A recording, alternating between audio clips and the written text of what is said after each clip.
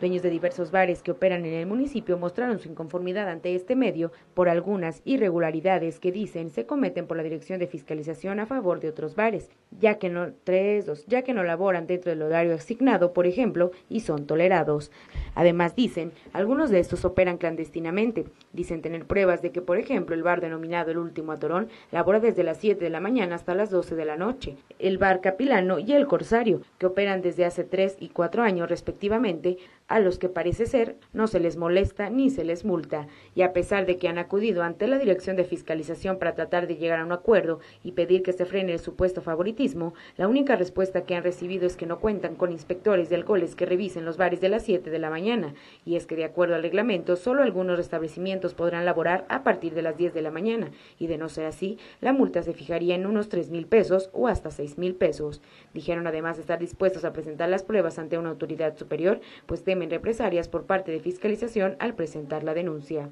Con imágenes de Jesús Rojas para Vía Noticias, Blanca Mireles.